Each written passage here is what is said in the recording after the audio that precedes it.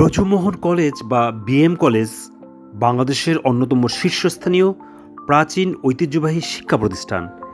এটি বাংলাদেশের দক্ষিণাংশে বরিশাল শহরে অবস্থিত। আঠারোশো উননব্বই সালে প্রখ্যাত সমাজসেবক, রাজনীতিবিদ ও শিক্ষানুরাগী অশ্বিনী কুমার দত্ত কলেজটি প্রতিষ্ঠা করেন। তখন কলেজটি কলকাতা বিশ্ববিদ্যালয়ের অন্তর্ভুক্ত ছিল। সে সময় এই কলেজের মান এত উন্নত ছিল যে অনেকে একে দক্ষিণ বাংলার অক্সফোর্ড বলে আখ্যায়িত করেন। উনিশশো পঁয়ষট্টি সালে কলেজটির জাতীয়করণ করা হয় ও বর্তমানে কলেজটি বাংলাদেশ জাতীয় বিশ্ববিদ্যালয়ের অধিভুক্ত। কলেজটিতে স্নাতক বা সম্মান শ্রেণীতে বাইশটি বিষয়ে ও স্নাতকোত্তর শ্রেণীতে উনিশটি বিষয়ে পাঠদান করে থাকে।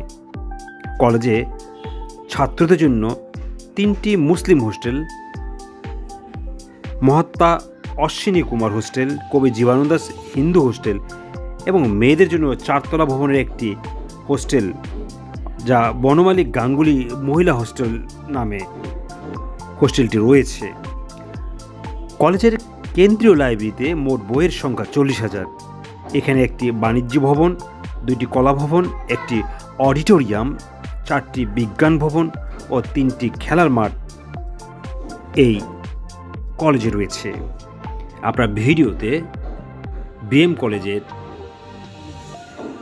বাহির থেকে অংশ দেখছেন। এছাড়া দুই প্রান্তে দুটি দিঘি কলেজের সৌন্দর্য করে তুলেছে মনোমুগ্ধকর। কৃতি শিক্ষার্থীদের মধ্যে রয়েছে নলিনী দাস, যিনি ভারতীয় উপমহাদেশের ব্রিটিশ বিরোধী স্বাধীনতা আন্দোলনের একজন অন্যতম ব্যক্তিত্ব এবং অগ্নিযুগের বিপ্লবী, ওয়ালিউল্লাহ নওজোয়ান। গবেষক, রাজনীতিবিদ, সমাজসেবক ভাষা সৈনিক মুক্তিযোদ্ধা ও শিক্ষক।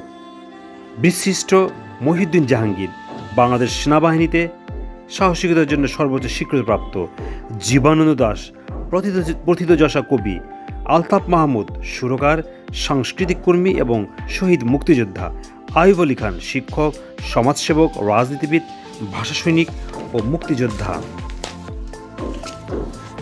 নারায়ণ গঙ্গোপাধ্যায় খ্যাতনামা সাহিত্যিক স্বদেশ বসু, বাংলাদেশি অর্থনীতিবিদ এবং মুক্তিযুদ্ধের সংগঠক, তারকেশ্বর সেনগুপ্ত, ব্রিটিশ বিরোধী বিপ্লবী ও শহীদ, রসনারা বাচ্চু, বাংলা ভাষা আন্দোলনের একজন সংগ্রামী, যারা এই কলেজের ভাবমূর্তিকে উজ্জ্বল করেছে।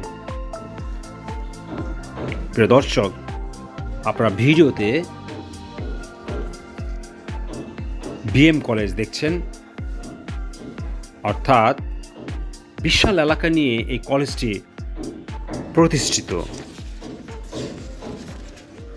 আমরা বাহির থেকে ভিডিও অংশগুলি আপনাদের দেখাচ্ছি।